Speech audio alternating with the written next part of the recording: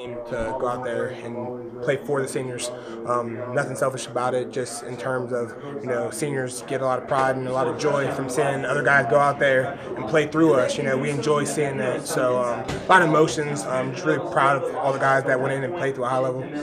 Would you consider this the perfect way to end the home season with just everybody getting in, the huge win, just a lot of fun, a lot of festive atmosphere out there? Absolutely. Um, the energy on the sideline didn't skip a beat the whole game. You know, guys were rotating in and out. Um, pretty much everyone played and played at a high level, executed the game plan, and just to see some of those young guys come in and make you know big stops in critical situations. Um, that's what it's all about, and I'm glad that's just going to be my last memory here at Valley. The senior class, 27 and one, the one point loss last season. You look back on it when you came in. Did you envision that that could be the home stand for you guys? Because that's what Clemson football is built on in the 80s. That you know, winning at home. Yeah, um, and coming in, I wouldn't even think to see myself in the position where I am right now, just as far as how my career has unfolded and everything like that. But I mean, I'm just thankful for how it ended. Um, you know, just each year, just continuing to grow and build as a program, and just the seniors before us teaching us how to take the torch and keep carrying it. So I'm really thankful for that. How do you reconcile the emotions of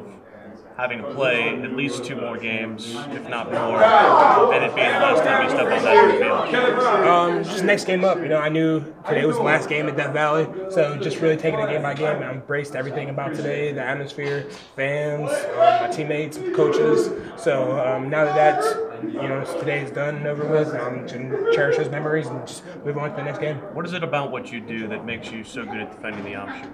Um, I mean, honestly just trust my key, just trying to play fast. And um, I mean, the thing about triple option is once you know your key, you can go full speed to your key because you know you have help on whatever else it is. If it's the dives and you have the pitch, I go straight to the pitch just because I know I have help elsewhere do all the various tributes, military wise, throughout the game, affect the emotion at all on the sidelines? Or are you guys just so involved in the game that you're not really noticing the, the extracurriculars that are going on? Uh, I'd say a little bit in between. Um, definitely, whenever they um, honor um, veterans um, during um, timeouts or anything, we definitely like tune in to see what they've been through and how far they have come. Especially today, um, I was really fortunate to be able to just tune in and hear some of the stories of combat that those, that those men have been through. So I'm appreciative for that. What was going through your mind when you got to the hill to, for the last time? Like this is it. This is the last time I'll be at the top of this hill as a player. Um, just really just looking around at all cylinders, just looking at all the fans, all the purple, orange, and white, and just really just thankful for it all. So, Speaking of like emotions and finding games, you've got one more game against South Carolina coming up. But what are your emotions and your favorite memories from this rivalry?